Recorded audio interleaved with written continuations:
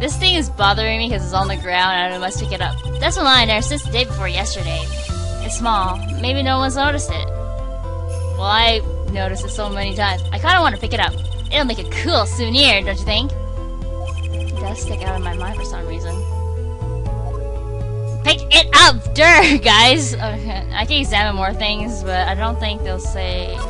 Will they say anything? I'm thirsty, Paulo. Want something to drink? Uh, how about... Yeah.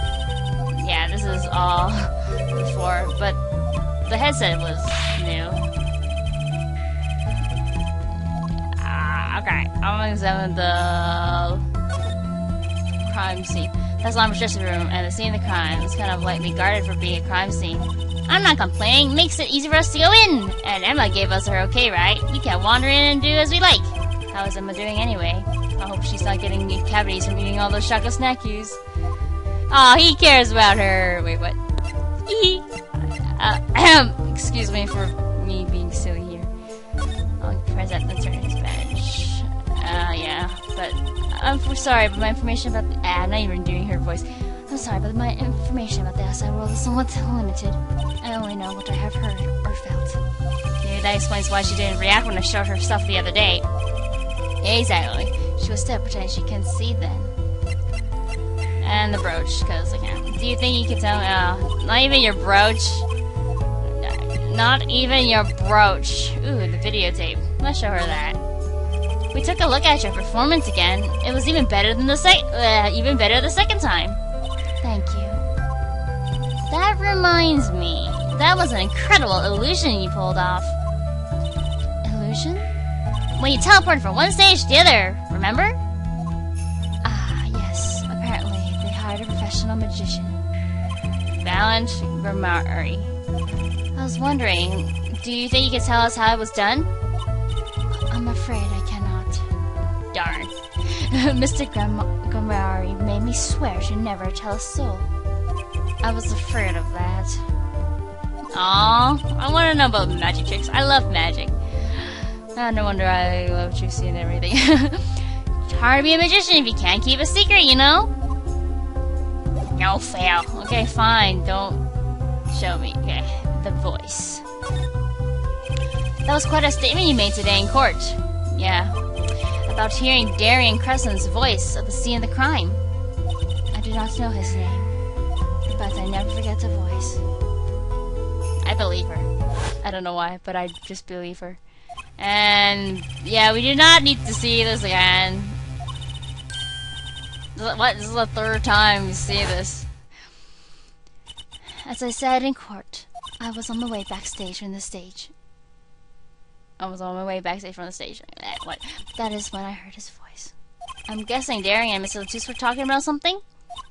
The next moment, I heard those gunshots. Why didn't you call security?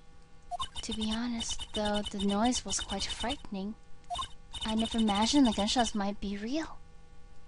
And I was in quite a hurry myself. I left the scene at once. So, it really was Daryan's voice that she heard. Yeah. At least she certainly thinks it was. Hmm, but that, that, that makes sense. Hmm. Hopefully all this uh, loopholes will clear up soon. I met Machi before my debut as Lamiroir. I was singing in a restaurant in Borginia. Backstory, me like. And he was playing the piano? Yes. He was very kind to me when he learned I could not see. Is that when he started playing opposites? With Machi pretending he couldn't see? Uh, no, it wasn't then. That began after our major debut after I became known as the landscape painter in sound. It must have been tough for Machi, pretending he couldn't see and all the while acting as your eyes. Well, we held hands always. He would write with his finger on palm to signal to me things I should know. He is a smart, gentle boy. You see like your son. I think I see what she's getting at. Machi would never harm a soul. Yeah, I believe Machi didn't do anything wrong. I believe he, he wouldn't kill anyone, right? I don't know. but looks could be deceiving. About Mr. LeTouse. Ah, yes, he was an Interpol agent, I hear. So you had no idea? Of course not. No one did. I guess that's what it means to be undercover. But someone was after him. They had to know who he really was. They have to? Why? Why do you pose as my manager? I do not understand.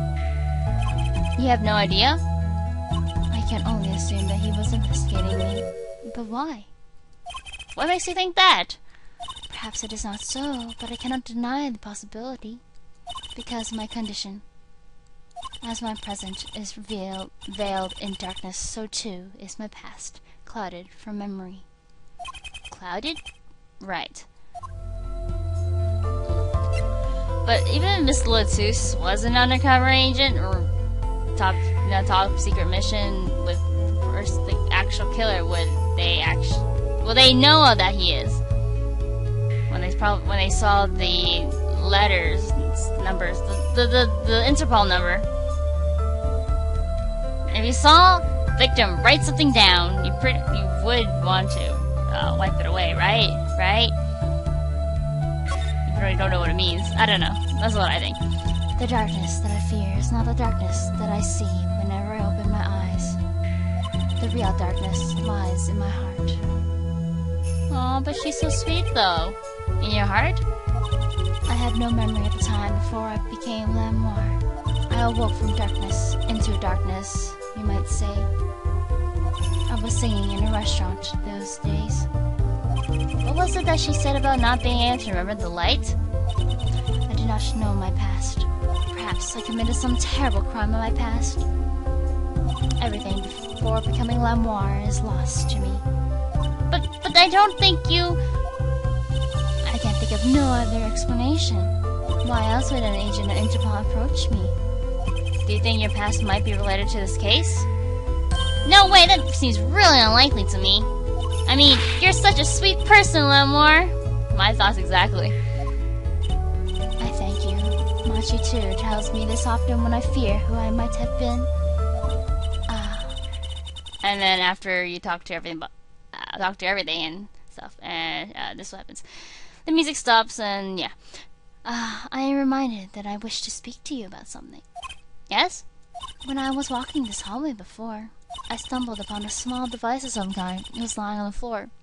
People should put their electronics elsewhere, like in a on a table, but not on the floor. People might stumble over. Yeah, it's people will stumble over or trip over, you know. Device? Maybe you mean this. That's been lying there since the day before yesterday. Yes, we know that. We just examined it earlier. Might I touch it? I thought as much. What? What did you think? This is one of our headsets. Everyone on staff wears one during concert. I wonder whose this is.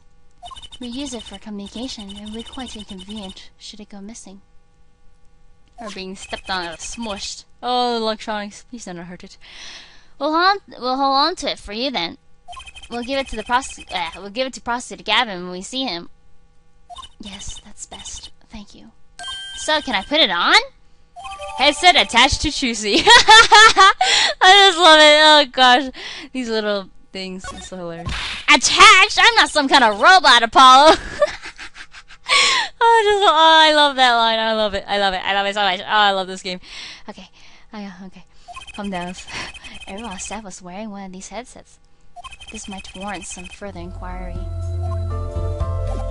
Oh, that uh, means that we should present the headset to her, even though she talked about it already. Can I ask you about this headset, Lamiroir? You said that all concert staff. You said that all concert staff were wearing one. That's correct. You need them to communicate across such a large stage. Everyone on the staff had one, of course. And all the band members too, I should think. So Prostitute Gavin and his lackeys have them on too, then. They're quite helpful, though limited. They only work within 30 feet or so. I wonder how they work. After all, they're only for use on stage. And a strong signal would interfere with the sound system. Hmm, that makes sense. Think someone would notice if they dropped their Hellenian communication life communications lifeline? So why was this one lying here? Mystery after mystery, yeah. Transceiver, uh, receiver, transmitter for voice signals with a 30 foot range. All concert staff wore one. Let's look at it. 10 for that, little buddy. This is Trucy for in. Over. Why sign in silence? No one answered. Don't be silly. What good is a receiver that doesn't receive? That's like Ema not performing forensic investigations. You make her sound like she's some kind of forensic investigation machine. Which is just silly. Unless she's a super high-tech android that runs on statues. Hmm. oh, this game is just too much. Anyway, let's... Um... Mm, where to go, where to go, where to go? Uh, let's go talk to... Uh, Smirking Man.